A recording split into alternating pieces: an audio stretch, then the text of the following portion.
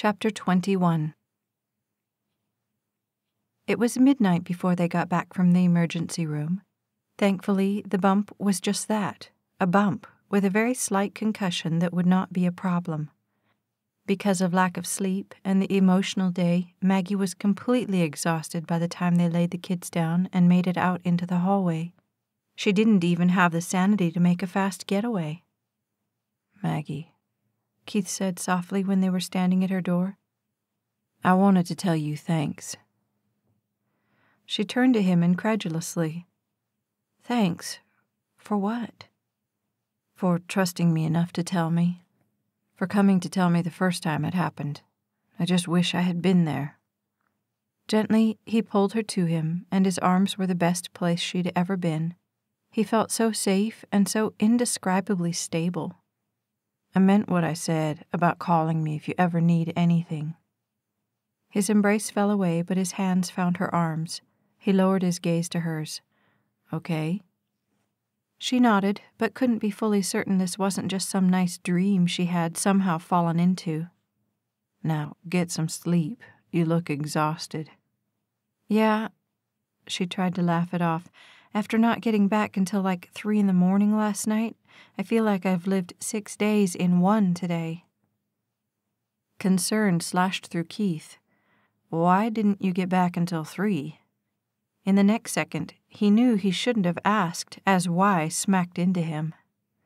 Oh, you know, those cab drivers have a racket going, she said, laughing again. But Keith wasn't laughing. Cab drivers? What happened to Greg? She shrugged and let her gaze find the darkness at her feet. He was drinking. If she was trying to make him crazy, it was definitely working. Maggie, why didn't you call me? Because it was three in the morning.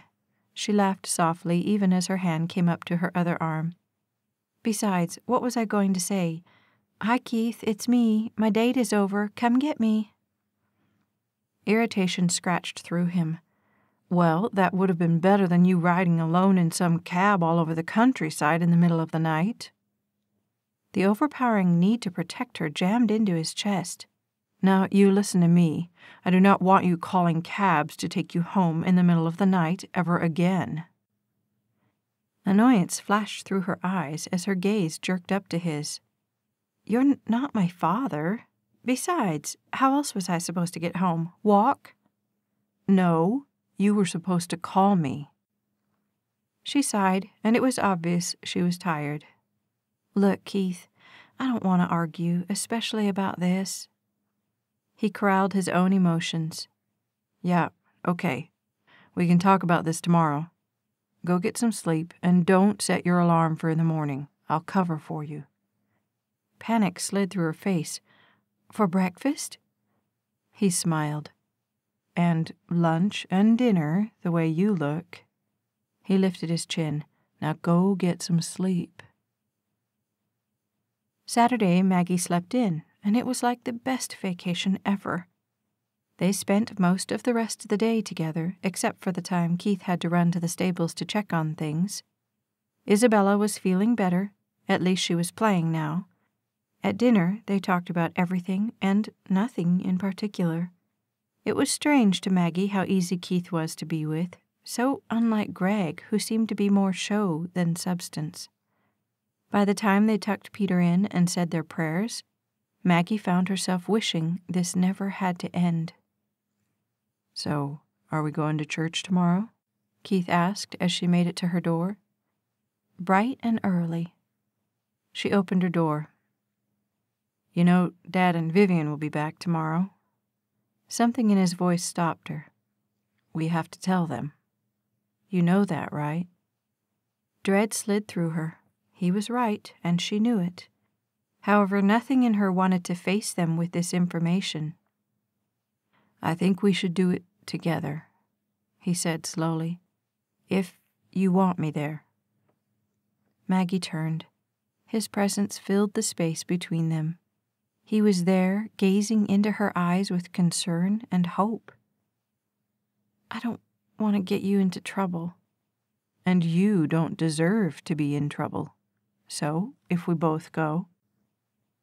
Are you sure? Very. Church flew by, and in no time they were out at the stables so Keith could check on things. There was no reason for them to be there, really, other than neither Maggie nor the kids wanted to see him go. At the stables, they got out of the pickup and walked to the barn, Maggie holding Izzy in one arm and Peter's hand with her other hand. This won't take long, Keith said. A young woman dressed in faded jeans and a t shirt strode out of the barn. She had long blonde hair, and she was shorter even than Maggie by several inches. Oh, Mr. Ayer, she said, putting her hand up to block out the sun. I didn't know you were coming.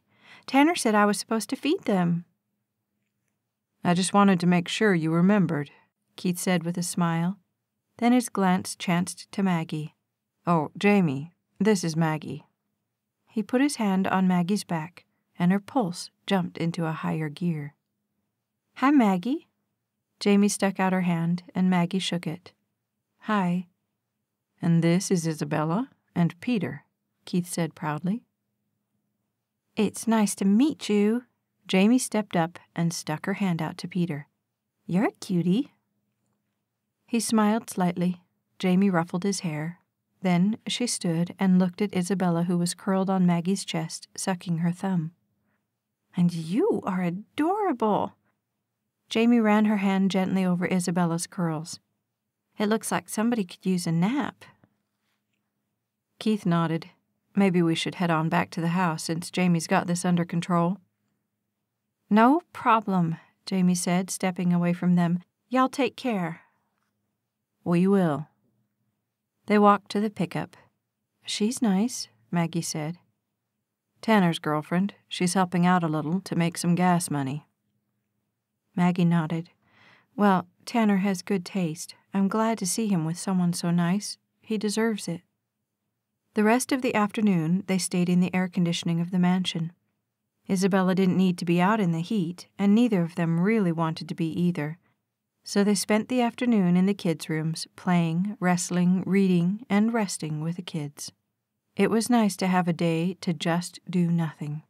However, the reprieve couldn't last. When the Ayers announced their return downstairs, Keith looked at Maggie, and she knew it was time for the Inquisition. You ready? he asked. Had there been a way to say no, she would have. Instead, she nodded, and with him holding Izzy and Maggie's hand in Peter's, they walked out. Down the stairs they went, trooping one behind the other as if marching into enemy territory. Welcome home, Keith said, far too happy and normal sounding for Maggie to match. Well, it looks like it's still standing. That's something, Mr. Ayer said, gazing at them as they made their descent. We won. Cumane ran a great race. That's great, Dad, Keith said. Really great. Mr. Ayer nodded and smiled happily. I think I'll give Ike a raise. He deserves it after that one. Hello, Peter, Vivian reached down and gave her son the obligatory hug. Did you have a good time? Uh huh. We went to see the horses today. Horses, Isabella said, but there wasn't much of a squeal. Maggie looked down at her. No, the bouncy child of a week ago still hadn't returned. For an awkward moment, no one said anything. Then Keith exhaled ever so slightly. Dad, Vivian, we need to talk. Mr. Ayer's face went ashen with the tone in Keith's voice, and suddenly Maggie knew why. Um, it's about the children, sir, she said before he could misconstrue Keith's intentions any further. Can't this wait? Vivian whined. We just got home. No, I'm afraid not, Keith said. It's pretty serious, and we wanted you to know what's been going on as soon as you got home. Mr. Ayer looked more confused than displeased. Could we go into your office? Keith said, and his father nodded. I'll let the kids with Inez for a minute, Maggie said, grateful that she didn't have to follow them all down the hallway. She took the kids to the kitchen and told Inez she would be back. It took everything she had to walk down that hall. When she slipped into the room, Keith was waiting for her at the door. He guided her to one of the mahogany wood chairs covered in expensive black leather. He sat next to her, his parents on the other side of the desk. Keith cleared his throat. We wanted you all to know that we found a bump on Isabella's head on Friday night. It was pretty good sized, and we took her to the emergency room. A bump? Vivian asked incredulously. What from? Keith glanced at Maggie and then leveled his gaze on his father. We managed to get the story out of Peter. It seems that the fill in babysitter yanked Isabella and made her slip. She fell and hit her head on the tub, causing the bump. We filled out a report on her at the hospital. It's standard. But she's been our fill-in for years, Vivian said. She wouldn't. It wasn't the first time. Maggie pulled in a breath and let out her fear. She hurt Peter the last time she was here. I saw the bruises on his arms. He told me she shook him really hard. He's terrified of her. But, Vivian started. Mr. Ayer folded his hands on the desk. Are you sure about this? Keith never flinched. There's no doubt. They walked out together so his parents could discuss the situation. With her arms wrapped at her chest, Maggie walked slightly in front of him, not saying a word. Are you okay? he asked with concern. I just hope they don't think I did it. Peace flowed through Keith. Dad's smart enough to know we were telling the truth.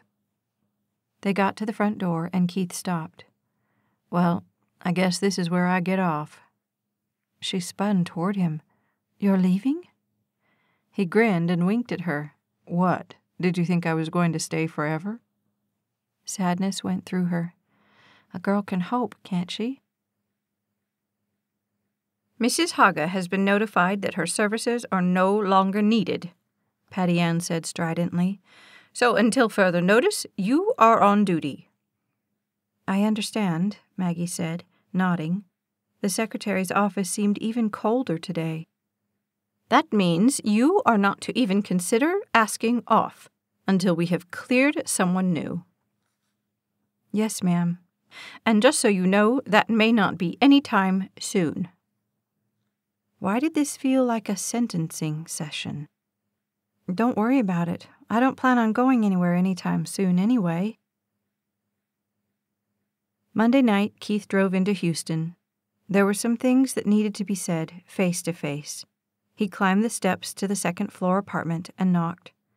Putting his hand on his hip, he waited, rehearsing what he had come to say, just as he had been for all of 24 hours. Keith! Greg sounded happy to see him when he opened the door. Come in, buddy. This is a surprise. I thought you must have forgotten where I live.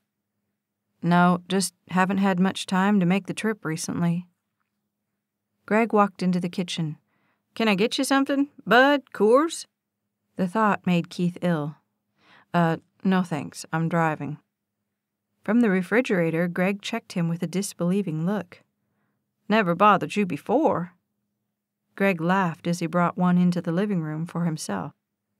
Keith sat down on the couch.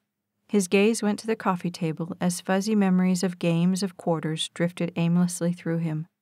The parties were legend, and yet they didn't hold the amusement they once had. He retrained his gaze to his friend. So, what brings you all the way down the mountain? Well, Keith said, shifting slightly, this is probably not my place, but I have to say something because it's going to drive me crazy if I don't. Greg took a drink. Sounds serious. It is. Keith paused to gather his courage. It's about Maggie. Maggie? Greg's head snapped up incredulously. It took another breath to get the words out. Do you know about her, well, her growing up? She said she grew up in Del Rio. Keith watched Greg take another drink. Did she tell you why? Greg shrugged. I don't know. Because she liked Del Rio? It was all Keith could do to keep himself from knocking Greg flat. No, because she was an orphan. Across the room, Greg's face fell with a can. She grew up in the foster care system. Her parents died in a car accident when she was eight. Concern slid over Greg's features. I don't. Why didn't she tell me this? It gets worse. Keith knew this was betraying every confidence she'd ever trusted him with, but he had to say it, had to get Greg to understand so he would stop being an idiot and hurting Maggie. They were hit by a drunk driver. A drunk Greg looked down at the can and thought for a long, long minute. That's why. Yeah. Keith's place in this situation had been left so far behind, it was no longer even in the rearview mirror. Look, I don't want to step on any toes here, but her riding out into the boondocks in some cab for an hour by herself is not exactly safe. I told her she could call me, but I don't think she'll do that. Greg shook his head. Is she is she mad at me? No. It killed him to say that. What he wanted to do was to lie and ruin every chance they had together, but he couldn't do that to Greg or to Maggie. I just thought you should know, that's all. Yeah, yeah, man. Thanks for telling me. His heart wouldn't let him go without saying it, but the words were pulling emotions from the center of him. Treat her right, Greg, okay? She's been through hell already, and she deserves better. Yeah, Greg nodded in understanding. Okay, I will. Well, are you going to congratulate us or what? Ike asked, walking into the office Tuesday morning. Keith barely looked up from the paperwork. Congratulations. Gee, you sound so happy. I would have thought you'd be bouncing off the walls for joy. I am, inside. He sounded as surly as he felt. The talk with Greg hadn't made him feel any better. If anything, it had made him feel worse. We won, you know, Ike said, sitting on the other side of the desk. I heard. You behaved yourself while we were gone? Keith stood, tired of this conversation. I was an angel, just like always. He grabbed his hat and stalked to the door. Time to get some real work done. Don't burn the place down while I'm gone. Miss Montgomery, Inez said, long after the sun had gone down on Wednesday. Phone call. Already tucked in for the night, Maggie dragged herself out of bed. Isabella was recovering, and they were back to a modified lesson schedule. It was already getting old. She tramped down to the kitchen and picked up the phone. Hello? Maggie, it's Greg. Oh, hi. She sat down on the chair. Somehow she had hoped he wouldn't call back after the last episode. What's up? Listen, I think we need to talk. I'm really sorry about the other night. I was out of control, and I'm sorry. She was tired of this conversation already. She was tired of trying to make herself like him in a way that she just didn't. Hey, it happens. No, I was a total jerk, and you have every reason to hate me. I don't hate you, Greg. I just like to take things slower than that. But I shouldn't have made you ride home in the cab again. It won't happen again, I swear. Don't worry about it. Riding home wouldn't be a problem because she wasn't planning on going out with him again. He hesitated. Well, I was wondering if you wanted to go out tomorrow night. Disbelief slammed into her. Oh, Greg, I can't. We've had an impossible week around here. Isabella got hurt when I was gone last time. But couldn't they get someone else to watch them, just for a while? No, I don't think so. Dinner, just dinner. No, really. Pre dinner for drinks or coffee or whatever. Maggie laid her head on the table. No, it's just not going to work, Greg. Maggie, please don't give up on us because I was a jerk. Please. Us? It sounded like a death sentence. It's not because of that, really. It's just that they haven't hired a backup babysitter yet. What happened to the one they had? long story. Listen, I've got to go. But he didn't sign off. Can I call you again sometime? She wanted to say no. With everything in her, she wanted to say no.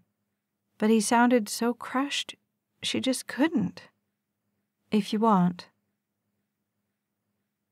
Saturday night, Keith got the call he had been dreading all week. After his talk with Greg, he had thrown himself into his coming life with Dallas like a good, soon to be groom should. However, just because he was committed didn't mean he was happy. I wanted to make sure we're going to be able to take the jet, Dallas said, clearly stressed out. I've got to be out of here by the 15th, one way or the other.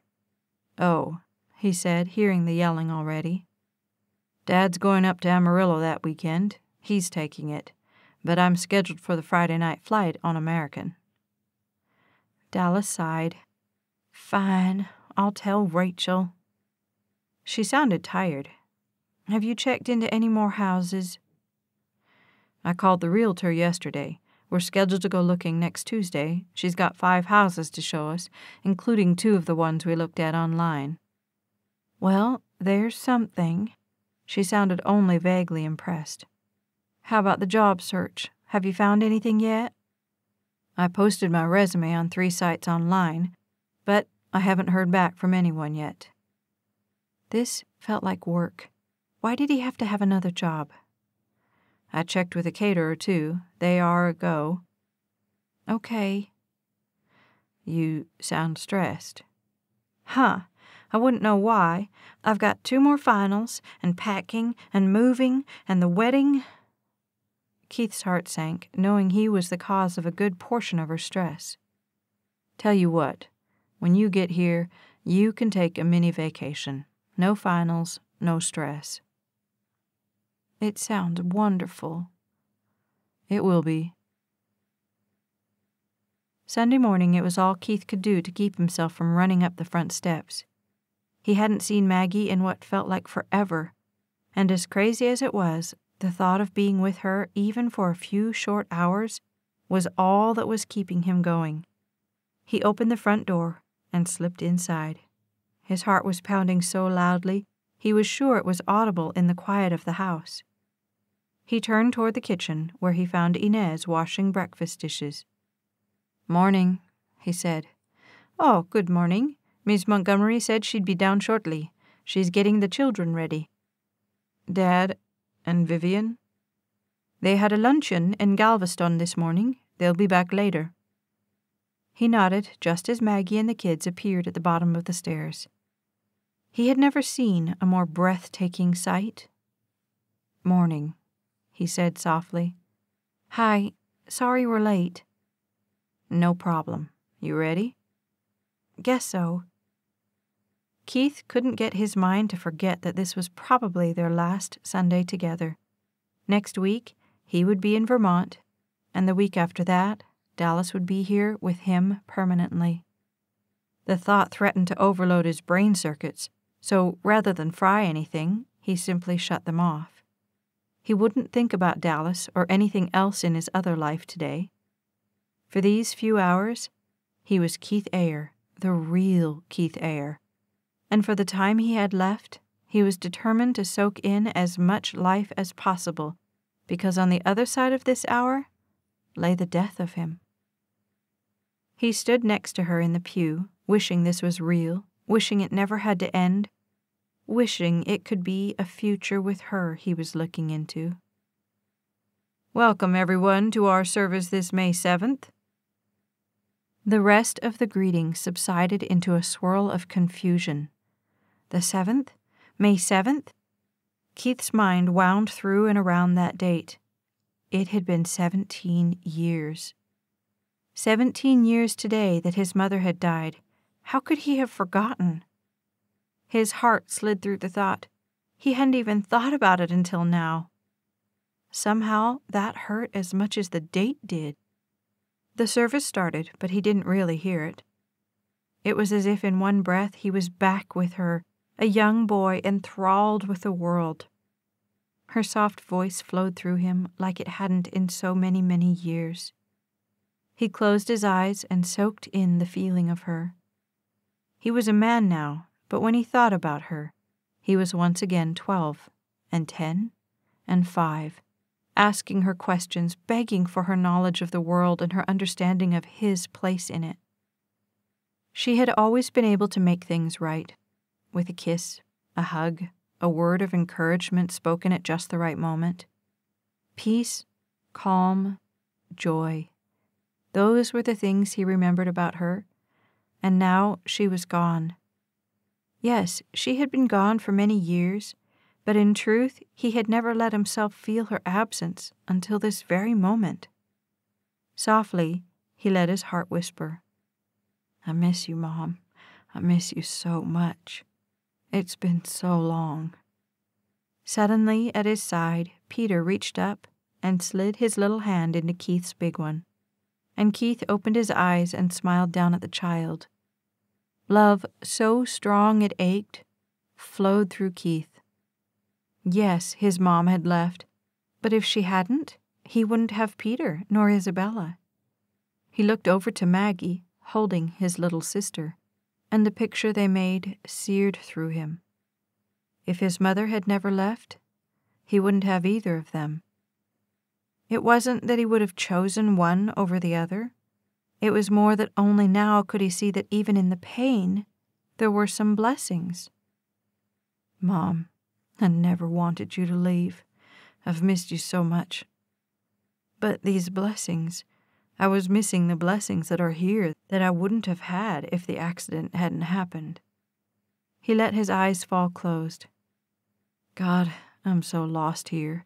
I feel like I know what I want, and yet it's like I can never have that. Please help me to let them go, to let Maggie go. I made a commitment to Dallas, and I've got to keep it. Please help me. In what seemed only moments, the service ended, he hadn't heard a word anyone had said. He followed Maggie out and to the pickup. However, when they were all strapped in, he glanced over at her. Would you mind if we make a little stop? She shrugged. No, that's fine. He nodded. The last time he had been to the graveyard was when his grandmother had died five years before, but he'd never had the courage to visit his mother's grave. Never. It had always seemed so final. But today he would face it. Today he would face the tragedy that had defined his youth so he could move into the tragedy that would define his future. What Maggie had expected she didn't know, but the graveyard was not it. What's going on?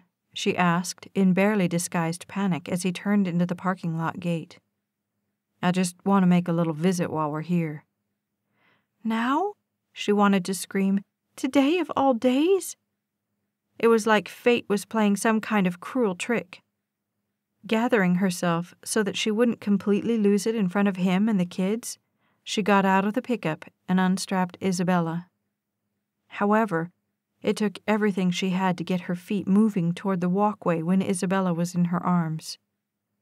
What is this? Peter asked, and Keith gave him some answer she didn't hear.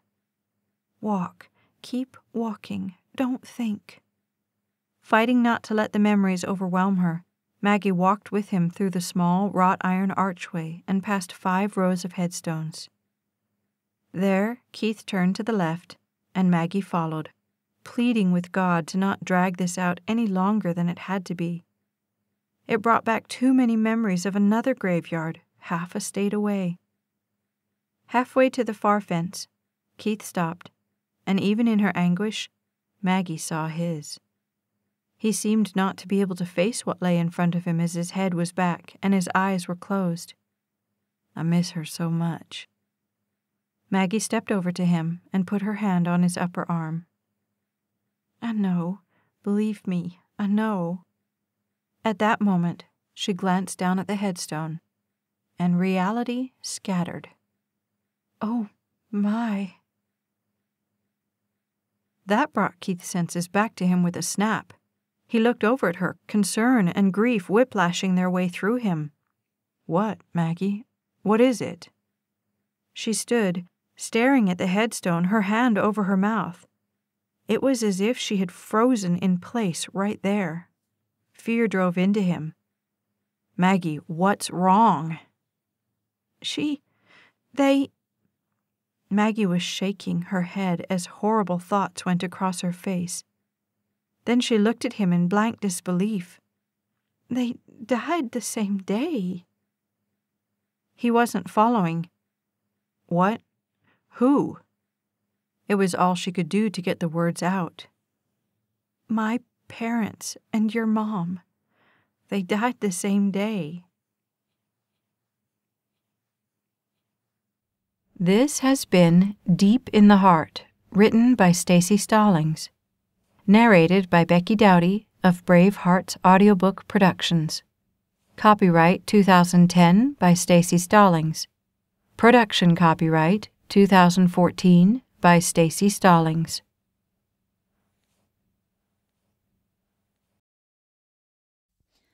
Like and subscribe to the Staci Stallings YouTube channel so you never miss a second of the story.